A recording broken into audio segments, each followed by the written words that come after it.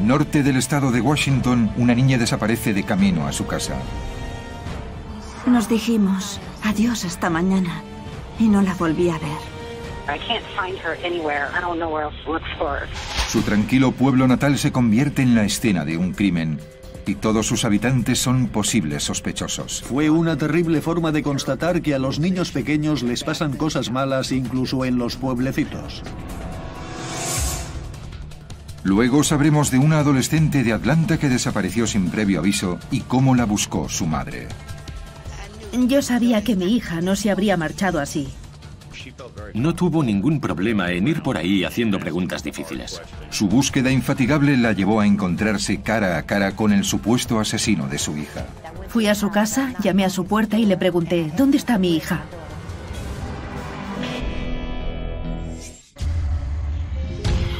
En 2005 recibí una llamada diciéndome que mi hija Natalie había desaparecido. La peor pesadilla de cualquier padre se había hecho realidad para mí. Me vi embarcada en una lucha inimaginable. Mi búsqueda de respuestas le dio un nuevo objetivo a mi vida, devolver a los desaparecidos a sus hogares y llevar a los criminales ante la justicia. Sin pistas, con Beth Holloway.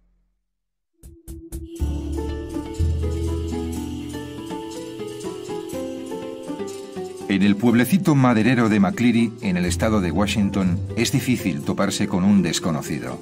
Si vivías en McCleary, lo más probable es que pudieras reconocer al 75% de sus habitantes. En septiembre de 2007, los habitantes de McCleary dan la bienvenida a tres nuevos vecinos.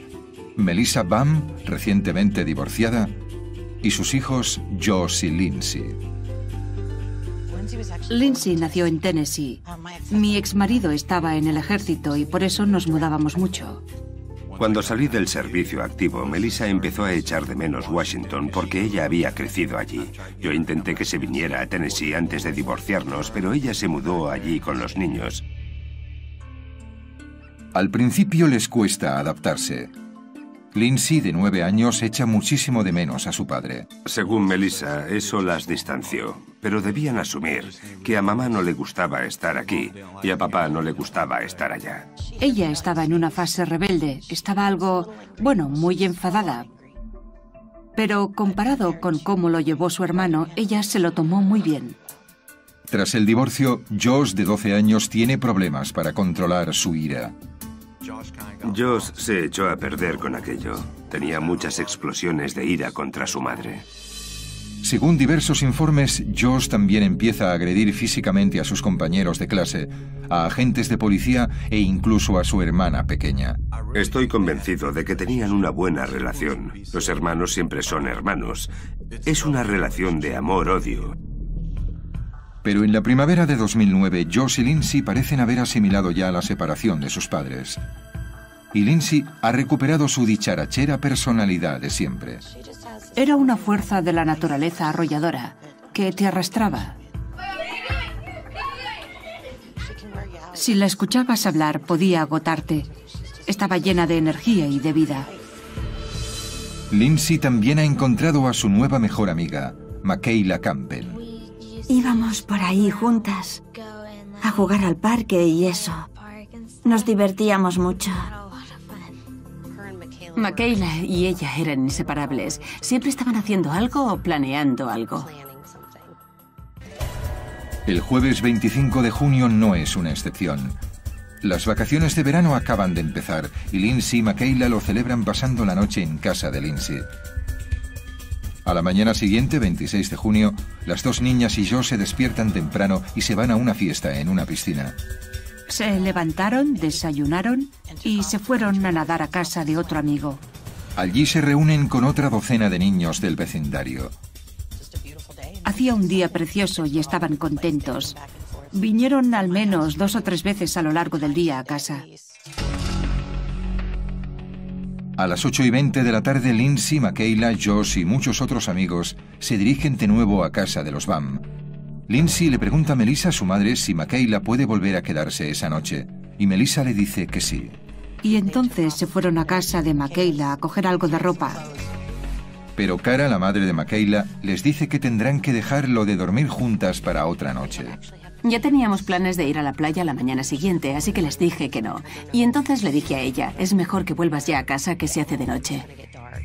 A las nueve y media, con el sol poniéndose rápidamente, Lindsay empieza a recorrer el paseo de diez minutos que la separa de su casa. Dijo, adiós, Miquela, te veo mañana. Y yo le dije, adiós, te veo mañana. Pero... No la vi. Son ya las diez menos diez de la noche. El sol ya se ha puesto en McCleary y Lindsay Baum aún no ha vuelto a casa. Su madre empieza a preocuparse. Llamé a casa de su amiga para ver si ya se había marchado, porque si no lo había hecho tenía que irse ya y me dijeron, se ha marchado hace unos 20 minutos. Melissa llama a todos los padres que conoce, pero nadie ha visto a Lindsay desde que salió de casa de Michaela.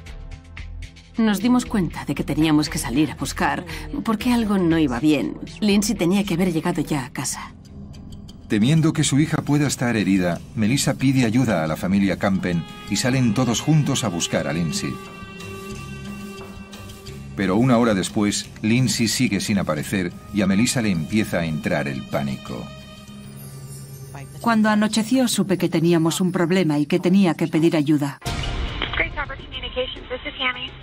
Hi, Tammy. I am um, needing some help looking for my daughter. I can't find her anywhere. I don't know where else to look for her. And what's your daughter's name? Lindsay. The police here, they know her. It's Josh's sister, Lindsay Baum. A los pocos minutos, la policía local acude a la llamada y desde la oficina del sheriff de Grace Harbor, otros agentes siguen los avances por radio. Entre esos agentes está la detective Polly Davin, especialista en casos de personas desaparecidas. Melissa Baum llamó a emergencias a las 10 menos 10.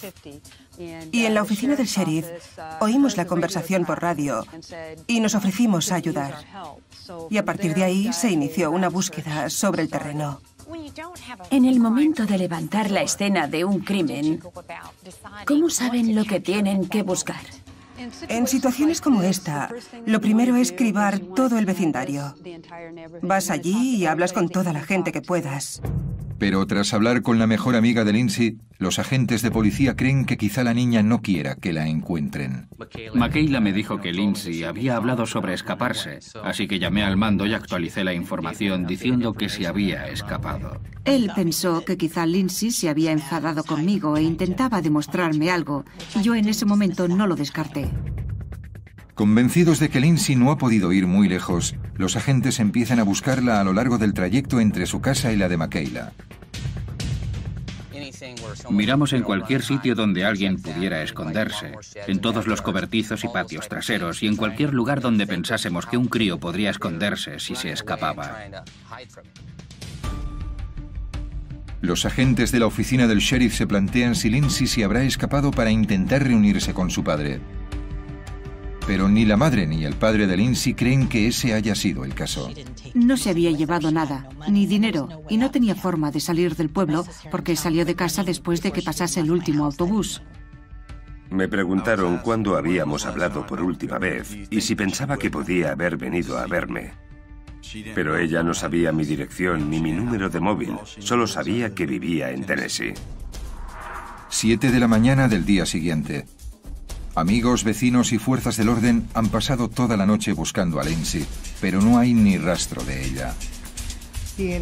Mientras tanto, los agentes del sheriff han avisado a los medios de comunicación, han impreso cientos de folletos y han movilizado a equipos de perros rastreadores para que busquen en los bosques que rodean McCleary. ¿Había algún lugar cercano al que a los niños les gustase especialmente ir a jugar? ¿Alguna zona boscosa o riachuelo al que fueran? McCleary está rodeado por zonas boscosas y parte de nuestra búsqueda por tierra fue recorrer cada finca, mirar entre la maleza, volver a mirar entre la maleza y volver a hacerlo una tercera y una cuarta vez. El tiempo es oro cuando alguien desaparece. Y esas primeras horas no las recuperas nunca, así que tienes que volcarte en buscar con todo tu empeño y todas tus fuerzas. Ese empeño rinde sus frutos. Al distribuir los investigadores un folleto por las calles, una lugareña les dice que vio a Lindsay momentos antes de que desapareciera y a tan solo unas manzanas de la casa de los BAM. Esta es la zona en la que se la vio por última vez. Lindsay vendría hacia nosotros desde el oeste, yendo hacia el este por la calle Maple. Es una calle con poco tráfico y bien iluminada de un vecindario de clase trabajadora, así que ¿por qué no llegó Lindsay a casa? Es como si hubiera ocurrido ante las narices de todo el mundo. Ya habían hecho ese paseo antes al menos 100 veces. Y... Dios. Todo el mundo empieza a temer que haya ocurrido algo terrible. No lograba dejar de pensar que algo iba muy mal. Nada indicaba que hubiese desaparecido por voluntad propia. No parecía haberse escapado. No parecía el caso de alguien que se va de casa.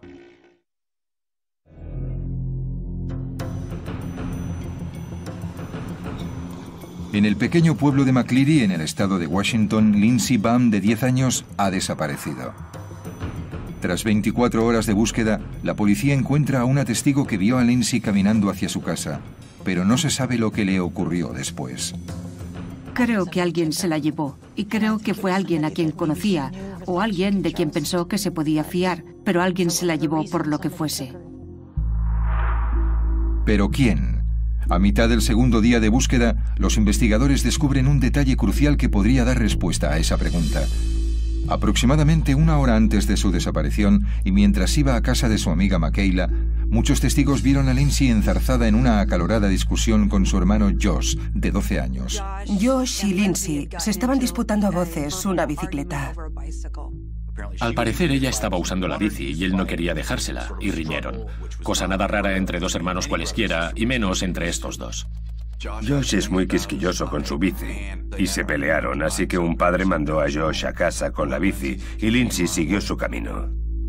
El incidente parece inofensivo, pero al relacionarlo con el conflictivo pasado de Josh, los investigadores le prestan más atención y deciden revisar con más detalle el paradero de Josh aquella noche.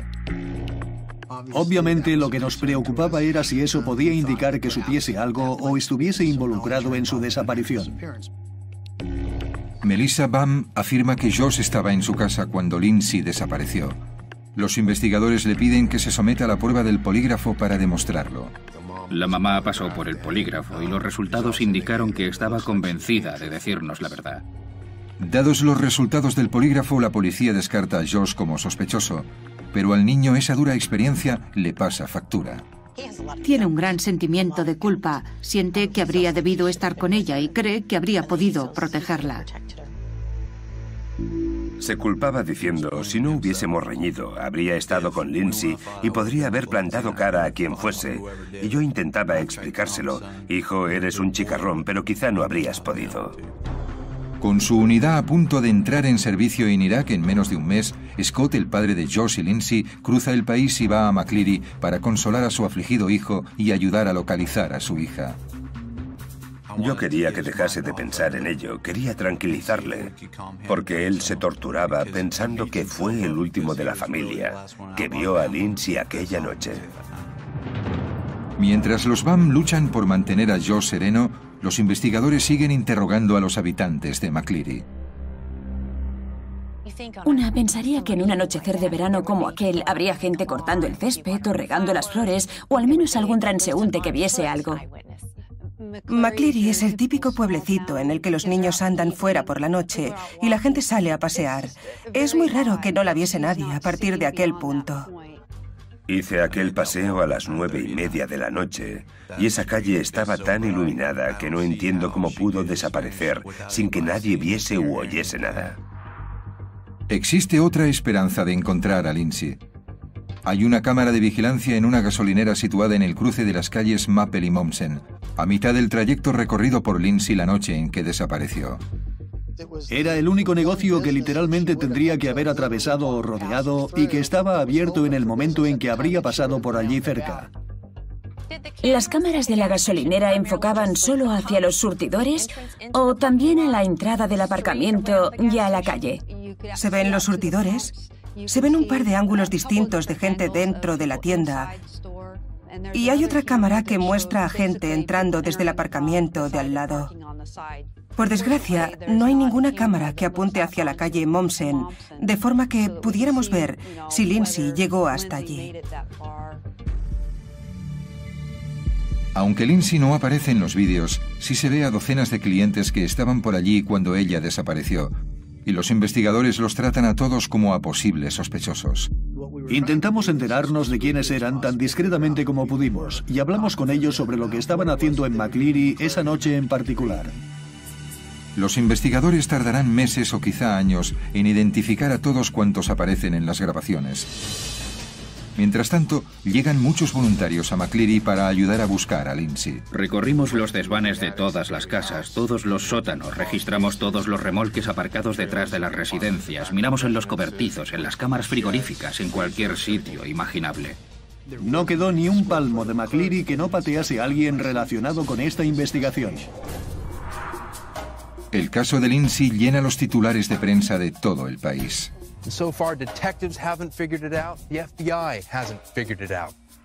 Y aunque se logra identificar a muchos de quienes aparecen en el vídeo de vigilancia, la policía se resiste a eliminar públicamente a nadie como posible sospechoso. Lo llevaron todo muy en secreto para no asustar a nadie ni que nadie pensase que se había librado.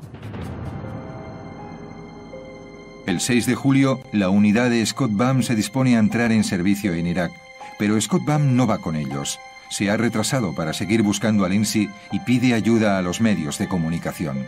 Please bring my daughter home. I'm fixing to deploy to Iraq, and tomorrow is her birthday. I would love nothing more than to see my daughter before I have to go. Pese a la conmovedora súplica de su padre, el decimoprimer cumpleaños de Lindsay pasa sin que haya noticias. En ese momento, todos los que tenían algo que ver debieron estar con las emociones a flor de piel. Nadie se rindió. Todos estaban plenamente volcados en esto. Trabajábamos sin tomarnos ni un día libre.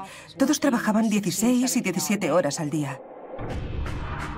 A principios de septiembre, la detective Davin y sus compañeros han interrogado y descartado prácticamente a todo el mundo en McCleary, pero aún hay unas cuantas coartadas que no cuadran, incluyendo la de un asistente en una residencia de ancianos que vive justo a las afueras del pueblo. El hombre había trabajado en una residencia para jubilados en la calle Maple, donde Lindsay fue vista con vida por última vez. Dijo que estaba trabajando esa noche y cuando los investigadores hablaron con su jefe en el trabajo, resultó que esa noche no había trabajado. Y aún más sospechoso resulta un inquietante comentario que el hombre hizo sobre Lindsay durante los primeros días de su búsqueda. Dijo, ah, sí, esa niña está muerta y descuartizada en algún lado. Y eso sobresaltó a mucha gente porque no se había dado ninguna información que ni siquiera lo sugiriera. Así que, ¿por qué lo decía aquel tipo? Los investigadores deciden escarbar un poco en el pasado de aquel hombre y descubren que a los 14 años fue el único sospechoso en el intento de violación de una niña pequeña. El 25 de septiembre, una nube de agentes de policía y del FBI se abate sobre el domicilio del sospechoso. Incautaron una larga lista de artículos, ordenadores, fotos, cinta adhesiva. Dejaron el sitio vacío. Lo miramos todo, fibra a fibra, objeto por objeto, buscando cualquier tipo de residuo para ver si había cualquier prueba que lo relacionase con la desaparición de Lindsay. Tuve esperanza y pensé, ya está, vamos a encontrarla. Pero tras peinar la propiedad durante dos días, las autoridades vuelven con las manos vacías. Fue un tremendo gasto de recursos y una pérdida de tiempo, más allá del hecho de que pudiéramos pasar a centrarnos en otros sospechosos y otras posibilidades, descartando estos. Después de tres meses buscando a Lindsay, la investigación vuelve al punto de partida.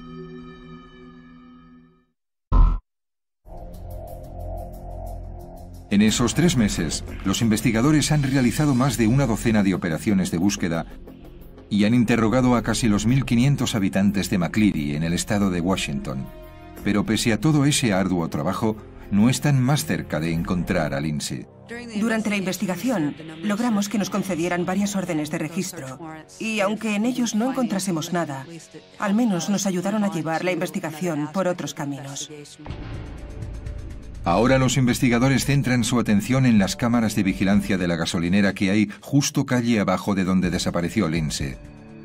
Pero identificar a cuántos aparecen en los vídeos está resultando una tarea difícil. Con la mayoría de los tipos que aparecían en el vídeo, el jefe de policía decía, ah, ese es Larry, o ese es fulano o mengano, y sabemos dónde estaba esta gente cuando Lindsay desapareció. Pero en un puñado de casos había interrogantes. En abril de 2010, la policía identifica a un hombre en el vídeo de vigilancia. Se le ha visto comprando cerveza unos minutos después de que se viera a Lindsay por última vez. Este individuo fue visto saliendo de la gasolinera y caminando hacia su domicilio, lo que le situaba en un recorrido que tendría que haberse cruzado con el de Lindsay de camino a su casa. El hombre ya había sido interrogado durante las primeras semanas de la investigación, pero la policía revisa su declaración inicial y descubre algo alarmante. Nos dijo muy claramente que no había salido de casa esa noche. Le dijo a la policía que no estaba en el pueblo y resulta que en el vídeo se le ve saliendo de la tienda con cerveza. Teníamos una prueba definitiva de que estaba aquí en ese momento determinado. ¿En qué más nos había mentido? Los detectives pronto descubren más declaraciones engañosas. Comprobamos que también había falseado su pasado. Y su historial delictivo sugería que, de hecho, había estado involucrado en cosas muy serias fuera del estado de Washington. Ahora, los investigadores están convencidos de que el hombre oculta algo. Y por segunda vez en 12 meses se lanzan a registrar el domicilio de un lugareño, además de un almacén que tiene a un kilómetro de distancia. Nadie quería pensar en lo que podían encontrar, pero seguro que todos se imaginaban algo. La gente preguntaba, ¿han encontrado a Lindsay? ¿Ha sido ese tipo?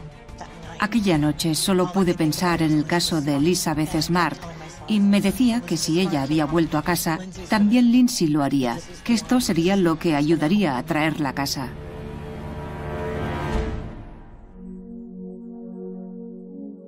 Pero una vez más los investigadores no encuentran ningún indicio que relacione al sospechoso con la desaparición de Lindsay.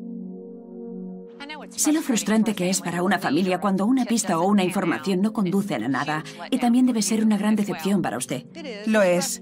Es frustrante cuando crees que has dado con algo y ves que no es así.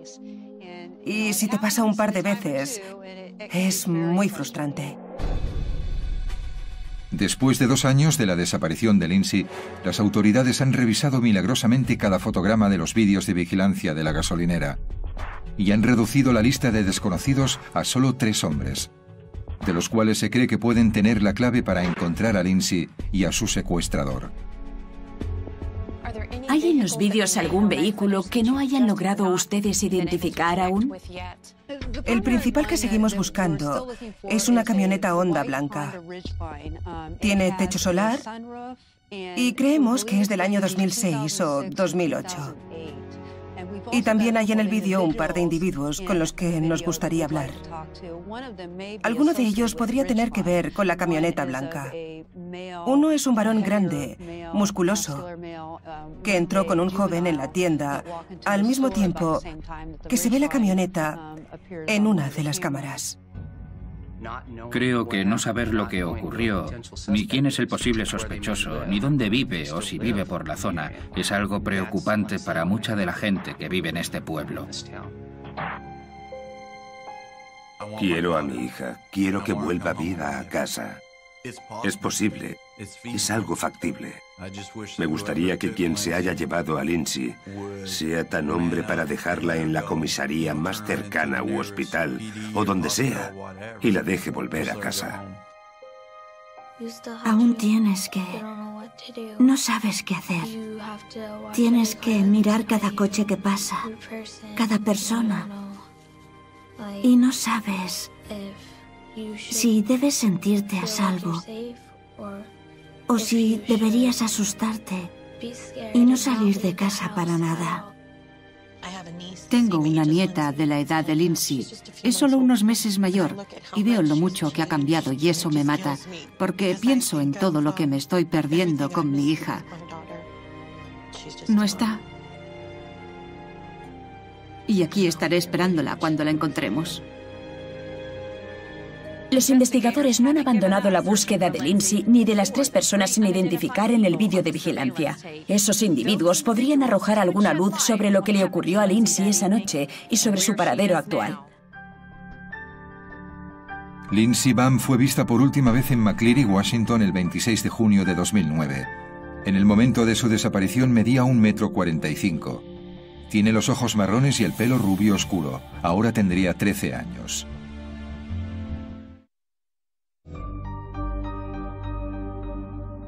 Cuando desaparece una persona, sus familiares a menudo no saben cómo ayudar a que su ser querido vuelva a casa.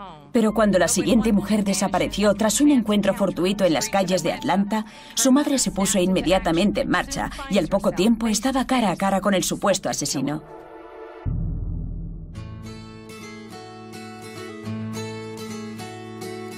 Atlanta, en Georgia, la joya del nuevo sur de Estados Unidos.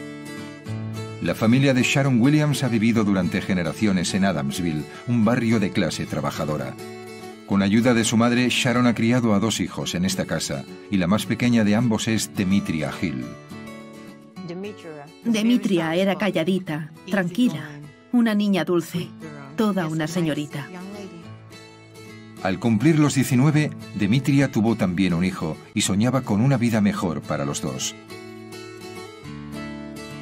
Como madre adolescente, estudia cuanto puede y dedica cada momento libre a su hijo Marco. Asumió su papel de joven madre con seriedad y responsabilidad. Sí, exacto. Quería lo mejor para él y hacía cuanto podía para dárselo. Pero todo eso cambiaría el 3 de diciembre de 2001. En torno a las 2 de la tarde, Demetria va a visitar a su abuela se queda una hora antes de decidir ir al supermercado que hay calle abajo. Demetria deja a Demarco jugando. Sharon, la madre de Demetria, llega momentos después de que su hija se marche. ¿La abuela de Demetria le dijo a usted a dónde había ido? No, ¿qué va? ¿Le dijo a su madre cuándo iba a volver? Probablemente dijo que iba a salir un minuto y que volvía enseguida. Pero pasan varias horas y Demetria no da señales de vida. No contesta a su teléfono móvil y a la mañana siguiente Sharon ya está buscando a su hija por las calles de Adamsville. Yo sabía que mi hija no se iba a ir así sin más. Tenía un niño pequeño y un hogar y no se habría marchado sin su niño. Un día después, Sharon obtiene la primera pista sobre la desaparición de Demetria.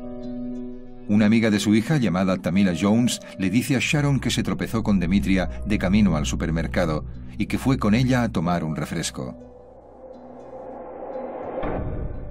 Según Tamila, cuando ella y Demetria estaban acabando sus bebidas, un atractivo desconocido paró por allí con un coche deportivo negro y entabló conversación con ellas. Conocieron a ese chico del coche negro, un camaro descapotable con un adhesivo de Carolina del Norte. El tipo se acercó a mi hija y le preguntó si quería ir a cenar. El hombre, que se identifica únicamente como Joe, le abre la puerta de su coche a Demetria y la invita a subir. Aunque Joe parece inofensivo, Demetria le pide a Tamila que la acompañe. Fuimos a un sitio de alitas en la calle Martin Luther King. Nos compramos unas alitas y lo que fuese. Nos sentamos a comerlas, riéndonos y nos fuimos a dar una vuelta sin más en coche. Según Tamila, Joe es todo un caballero y a eso de las 8 de la tarde la lleva en coche a su casa para que avise a su familia de que va a salir. Y cuando vuelve, Demetria y Joe se van. Es la última vez que alguien ve a Demetria Hill. Mi hija nunca volvió a por Tamila. Después de oír lo que cuenta Tamila, Sharon se convence de que ha ocurrido algo terrible y pide auxilio a la policía de Atlanta. Era muy tenaz, muy insistente en que ocurría algo muy malo.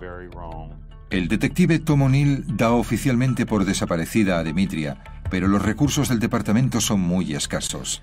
En aquel momento, yo era el único detective en la unidad de homicidios del Departamento de Policía de Atlanta dedicado a personas desaparecidas. Llevaba una media de 1.150 casos al año. Para una sola persona eso es una carga de trabajo descomunal. La investigación oficial puede ser lenta y cuesta arriba, pero Sharon va a toda máquina buscando por su barrio cualquier rastro de su hija. También va buscando el Camaro negro en el que se vio por última vez a Demetria. La señora Williams ha vivido en esta comunidad mucho tiempo y está al corriente de cuanto pasa en el vecindario. Así que no tuvo ningún problema en ir por ahí haciendo preguntas difíciles y exigiendo respuestas.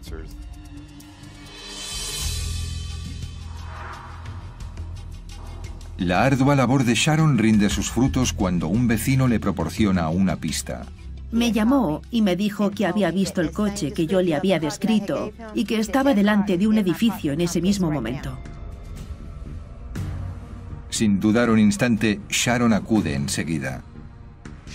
Fue allí y cogió ella misma el número de matrícula y me la dio. Y yo pude comprobar y averiguar quién era el propietario del coche.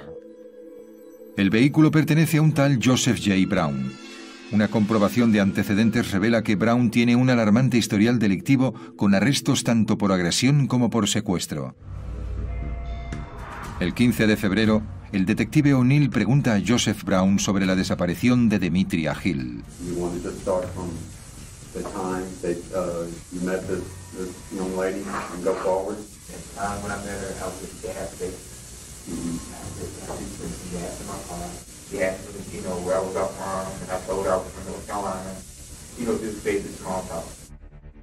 Me pareció muy listo, muy tranquilo.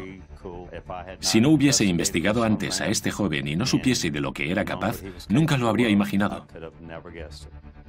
Fue asombroso. Brown reconoce haber pasado la tarde con Demetria, pero afirma que la dejó delante de casa de su abuela esa noche.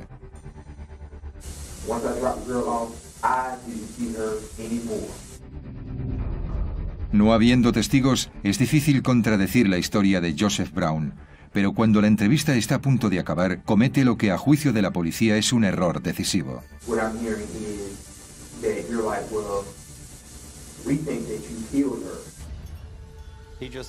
Negó sin más tener nada que ver con su asesinato. Eso para mí significó mucho, porque yo no sabía que estuviera muerta, solo que había desaparecido. Que Brown mencione inesperadamente un asesinato es algo revelador, pero sin pruebas que lo relacionen con la desaparición de Demetria, la policía no tiene más remedio que dejarle en libertad. En aquel momento yo aún no tenía más pruebas que el hecho de que había estado con ella el día en que desapareció. Demetria Hill, de 19 años de edad, ha desaparecido en Atlanta, en el estado de Georgia. Su madre Sharon ha conducido a la policía hasta Joseph Brown, su principal sospechoso. Pero los agentes no tienen suficientes pruebas físicas como para acusar a Brown de ningún crimen. Pero Sharon no se da por vencida y en abril de 2002 decide valientemente plantar cara a ella misma a Joseph Brown. Sharon, cuénteme su primer encuentro con Joseph Brown. Yo estaba sentada en el trabajo diciéndome, ¿por qué estoy en el trabajo cuando mi hija está desaparecida? Así que me marché del trabajo, llamé a su puerta y le pregunté, ¿dónde está mi hija? ¿Estaría usted temblando delante de esa puerta? Sí que lo estaba, tenía un ataque de nervios.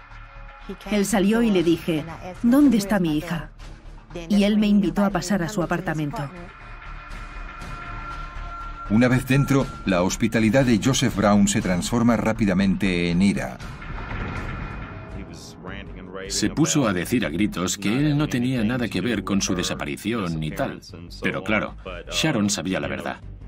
Y no iba a dejar que se saliera con la suya. Me dijo que le había destrozado la vida, la carrera, yo le dije que no me importaban ni su vida ni su carrera, que solo necesitaba que me dijese dónde estaba mi hija. Y cuando me metí en el coche, él apuntó mi matrícula. Minutos después, Brown llama a la policía diciendo que Sharon Williams le está acosando.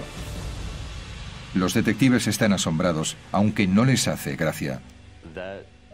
Esa señora no tenía ningún miedo al exponerse así. Le dije que él tenía antecedentes por hacer daño a mujeres y que podría herirla fácilmente.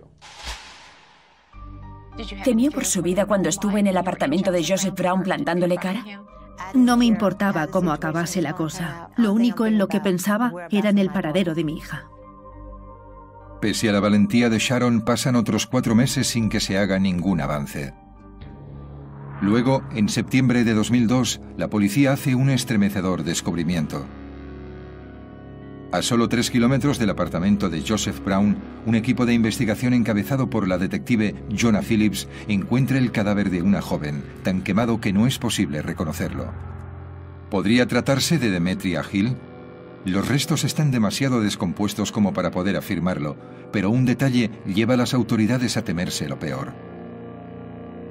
Cuando me acerqué a la escena, una de las primeras partes del esqueleto que vi fue la calavera y había una letra D de oro en uno de los colmillos superiores. Mi hija tenía un diente de oro con sus iniciales. La llamaban Didi para abreviar y tenía esas iniciales en su diente de oro. La coincidencia dental demuestra que se trata del cuerpo de Demetria.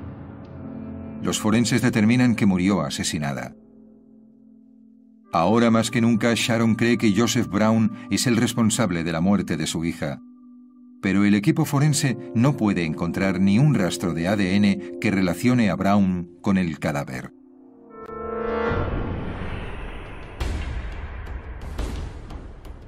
Durante casi dos años el caso languidece sin que se produzca ningún nuevo avance. Luego, el 29 de junio de 2003, Joseph Brown vuelve a ser arrestado. Esta vez por agresión. La víctima es su propia novia, Chinela Ross. Chinela y Joseph llevaban juntos varios meses cuando tuvieron un altercado entre ellos. Y Joseph se puso violento con Chinela. Intentó ahogarla y la echó del coche. El incidente podría relacionar a Joseph Brown con el asesinato de Demetria Hill. Existe lo que se denomina similitud de acciones, con lo cual, si se acusase a una persona de un crimen y se la hubiera condenado por crímenes similares, se pueden presentar ante los tribunales esos incidentes en particular antes incluso de que se instruya el caso. Eso en teoría demostraría la propensión de Brown a la violencia y llevaría a los investigadores un paso más cerca de acusarle de asesinato. Pero de repente, Chinela Ross retira la denuncia contra su novio e incluso paga su fianza. Supongo que estaba asustada, que temía que él se vengase de ella mientras estaba en prisión o al salir. Decidida a hacer que Brown pague por sus crímenes, Sharon llama a Chinela Ross y le ruega personalmente que vuelva a presentar la denuncia. La súplica de Sharon da resultado. Chinela vuelve a presentar cargos contra Joseph Brown y este es juzgado por agredirla. Y también es acusado de secuestrar y asesinar a Demetria Hill. Ella fue la principal persona por la que pudimos llevar este caso ante los tribunales.